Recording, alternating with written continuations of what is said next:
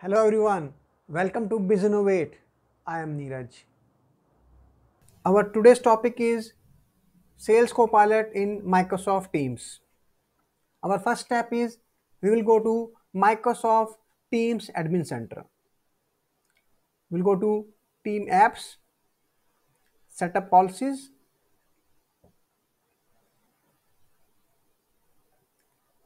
we will add a new policy over here. For purpose of this demonstration, I already created a policy to save our time. My policy.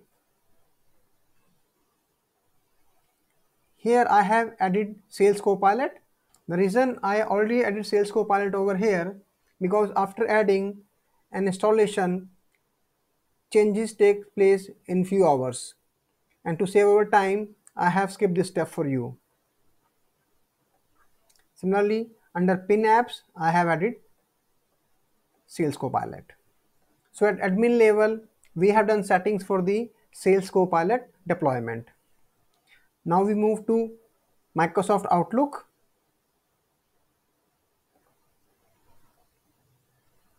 Make a new meeting. Please watch this step very carefully.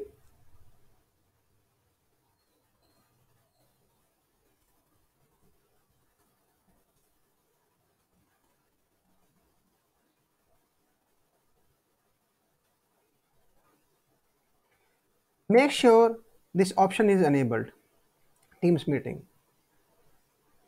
I also tried creating meeting in Microsoft Teams, but I noticed in that case Copilot don't work. So make sure you create meeting from Microsoft Outlook and enable this option.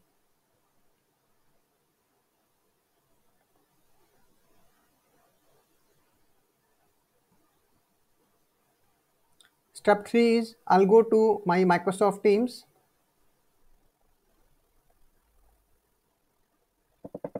I'll tell other salesperson or my customer to log in and to start meeting with me. Before that, I have to cross check whether Sales Copilot is visible over here or not. In that case, in case it's not visible, you click over here, choose Sales Copilot.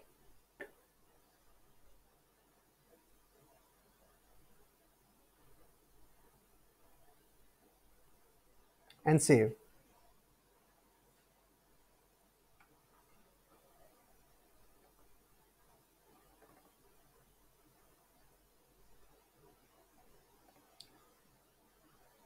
Okay, now it's time to start meeting. Let me join the meeting.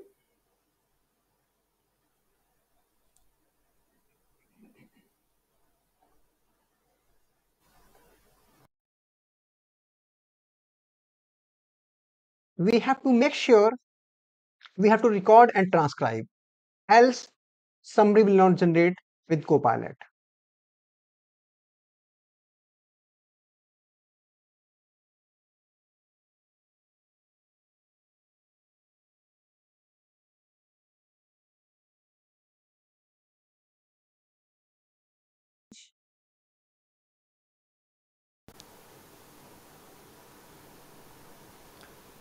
So you notice that we just finished the meeting. Now we'll go to chat. We have to wait for some time. Here comes, you can see notification, your meeting summary is ready.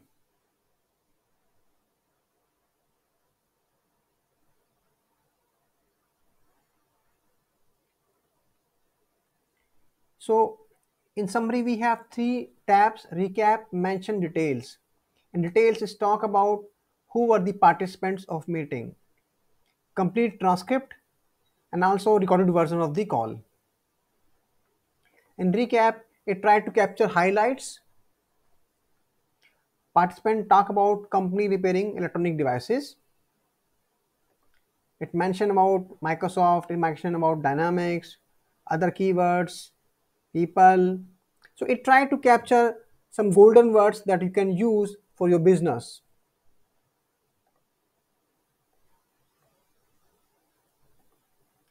So more intense is conversation, better are highlights. Under sentiments, you can see neutral sentiment and positive sentiments. In case customer is unhappy and he use some negative words, probably you see negative sentiments over here. So this way you can save your time and energy by using the Copilot sales summary in Microsoft Teams. Thank you.